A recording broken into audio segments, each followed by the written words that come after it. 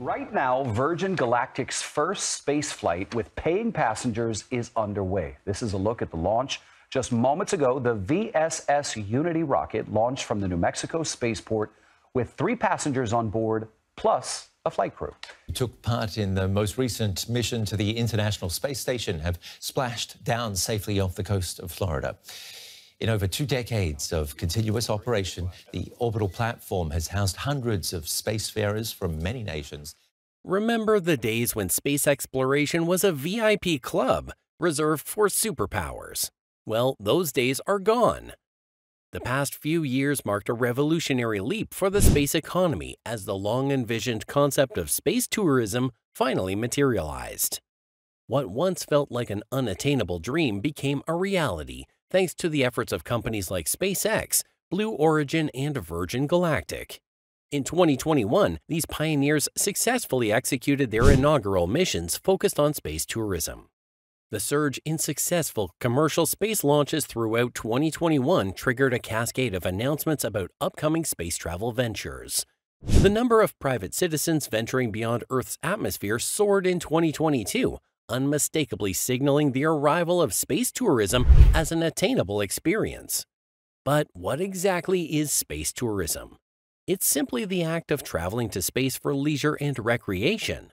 While it might seem like a recent concept, the roots of space tourism trace back to 2001 when Dennis Tito, the inaugural space tourist, paid $20 million for a journey to the International Space Station aboard the Russian Soyuz spacecraft. Among the approximately 600 individuals who have voyaged into space, only a fraction were space tourists, venturing for leisure rather than scientific exploration. Between 2001 and 2009, eight space tourists orbited Earth, utilizing government rockets and space stations for their journeys. Notably, SpaceX's 2021 mission marked the first all private orbital trip, where the crew even crafted their itinerary. The soaring interest in space tourism has spurred numerous companies to delve into research, design, and spacecraft testing, all aimed at enabling routine tourist trips to space. Leaders like SpaceX and Virgin Galactic are at the forefront, outlining comprehensive plans for diverse forms of commercial space travel. Aspiring space tourists will soon have three options to choose from suborbital space tourism, orbital space tourism, or lunar space tourism.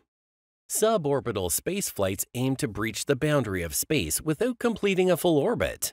These spacecraft travel at modest speeds, skimming the edge of the atmosphere before descending back to Earth once the engines power down. Suborbital space tourists reach heights of about 100 kilometers, relishing a fleeting few minutes in space. During the descent, they experience exhilarating moments of weightlessness as the spacecraft free falls. Currently, the suborbital space tourism market is fiercely contested by two major players Virgin Galactic, which went public in 2019, and Blue Origin, Jeff Bezos' private space venture. Tickets for Virgin Galactic's suborbital space flights are available at $450,000, granting passengers a 90 minute spaceflight experience. On the other hand, orbital space flights soar to altitudes surpassing 400 kilometers, allowing orbital space tourists to spend several days or even over a week in space. These spacecraft are steered on trajectories to sustain at least one complete orbit, attaining the necessary velocity to maintain this course. Given the increased duration, speed, and distance covered, orbital spaceflights come with a significantly higher price tag. For instance, SpaceX's September 2021 orbital spaceflight purportedly charged each of its four passengers a staggering $50 million per ticket. Historically, orbital space tourism has been largely limited to sporadic trips to the International Space Station via Russia Soyuz spacecraft. However, the entry of new companies into the market is expanding the accessibility of orbital space tourism. Lunar space tourism ventures toward complete lunar voyages utilizing specialized spacecraft designed for the moon. Although no lunar space tourism flights have been launched, plans have been unveiled to commence lunar tourism between 2024 and 2043, involving lunar surface expeditions or orbit around the moon. In 2021, SpaceX introduced the groundbreaking Dear Moon project, set to pioneer the inaugural lunar space tourism mission. The Dear Moon project is an exciting blend of lunar tourism and art, dreamt up and funded by Japanese billionaire Yusaku Maezawa. Picture this a SpaceX Starship spaceship on a private mission, looping once around the moon. Maezawa's leading the pack, joined by eight other civilians, and maybe a couple of crew members might tag along. The whole idea took flight in September 2018 and is scheduled to launch soon. Plus, they're aiming for a six day spin around the moon, offering eight lucky passengers the ride of a lifetime, all on the house, thanks to Maezawa. He's counting on this space escapade to spark some creative magic among the crew. The plan? Take the art inspired by this cosmic journey and showcase it back on Earth, spreading vibes of peace worldwide. The space economy encompasses a spectrum of activities and resource utilization in space, generating value and benefits for humanity. It encompasses both public and private sectors involved in developing, delivering, and utilizing space related outputs, products, services, and scientific insights derived from space research. While space tourism is a subset of the broader space industry, it's anticipated to undergo exponential growth in the forthcoming decades. The realm of space tourism has transitioned from a distant dream to a tangible reality. Although the cost of a ticket remains out of reach for many, ongoing innovations promise a gradual reduction in prices, aiming to make this celestial journey more accessible and cost effective. Driven by significant technological strides and a surging interest in accessing space, the space tourism market is experiencing unprecedented expansion and acceleration growth rates. And two years ago, the global space tourism market was valued at $598 million, witnessing the dominance of the commercial space tourism sector, which claimed a commanding 56.7% market share. 13 commercial spaceflight missions took flight, spearheaded by entities like Virgin Galactic, Blue Origin, SpaceX, and NASA. These missions transported non astronaut individuals into space and safely returned them to Earth after their allotted time in orbit. According to a Grand View research report, the global space tourism market hit a value of $695.1 million in 2022 and is set to soar, expecting a compound annual growth rate CAGR of 40.2% from 2023 to 2030. In North America, the space tourism scene is anticipated to skyrocket, boasting a CAGR of 46.5% from 2024 to 2029. By 2029, revenue in this region could hit nearly $993.95 million.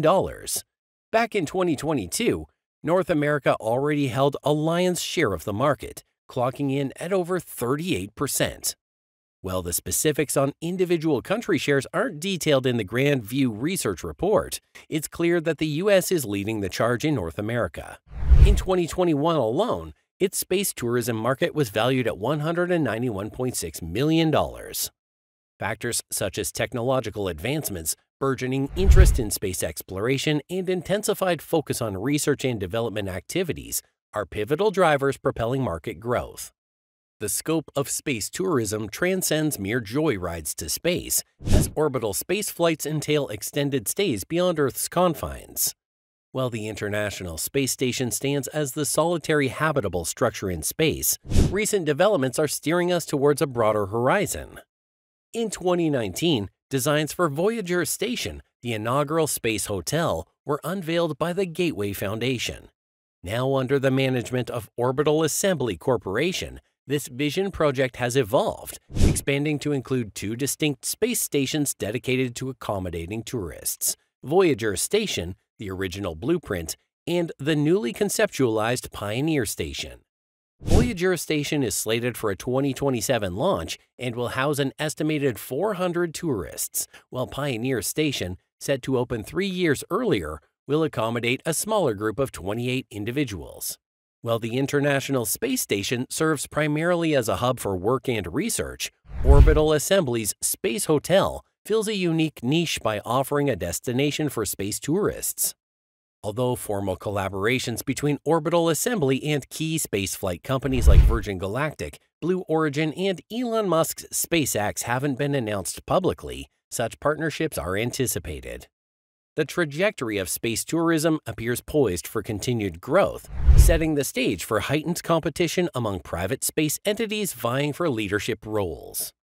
The substantial economic impact of private space tourism is undeniable. While currently a subset of the broader space economy, its evolution is set to redefine the industry in the forthcoming decades.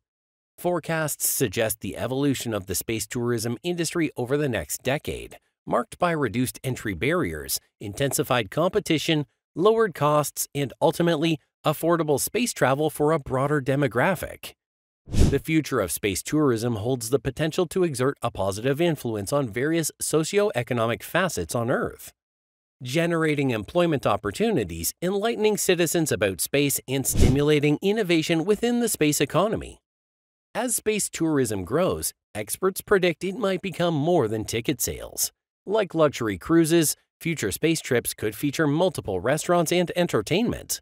Imagine space shuttles evolving into mini hotels, offering not just travel but a whole vacation experience, with dining and leisure options, making the journey itself a destination.